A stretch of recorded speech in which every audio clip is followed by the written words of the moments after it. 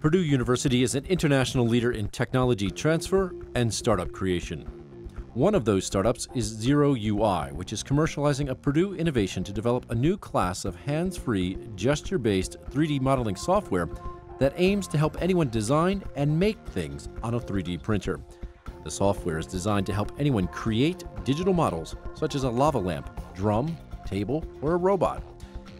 This is accomplished by using depth sensing cameras and advanced software algorithms to interpret hand movements and gestures.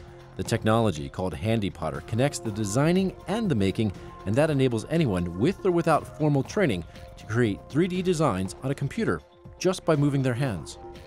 The technology was developed in the laboratory of Karthik Ramani, the Donald W. Feddersen Professor of Mechanical Engineering. HandyPotter technology on the front end makes things very easy for people. Uh, it is what we call a natural user interface. It's very much like how the real world works. So we use a lot of human-computer interaction technology for the front end. And on the back end, it has sophisticated algorithms to understand the shape of your hands. Uh, we use machine learning on the back end and geometric modeling on the back end.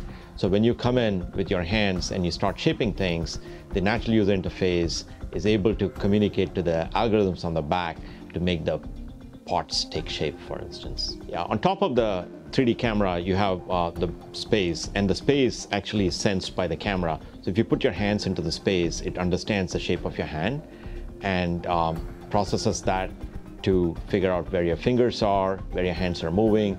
Is it picking a tool? Is it picking a brush? Or it's just shaping the part.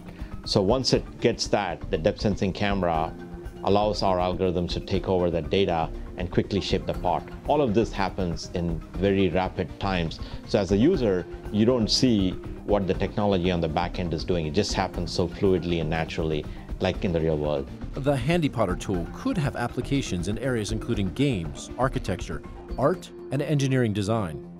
Zero UI is using this technology to build 3D fabrication applications, also called fab apps for 3D printers. ZPots, a virtual pottery application, is our first fab app.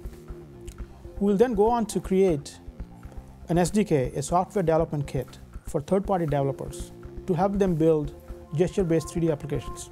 Over the next few years, Zero UI will be an innovator in gesture interface technologies.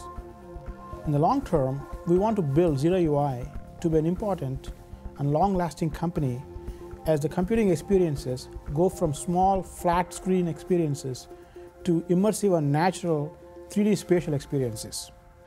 To find more information about this and other Purdue technologies, visit otc-prf.org/otc.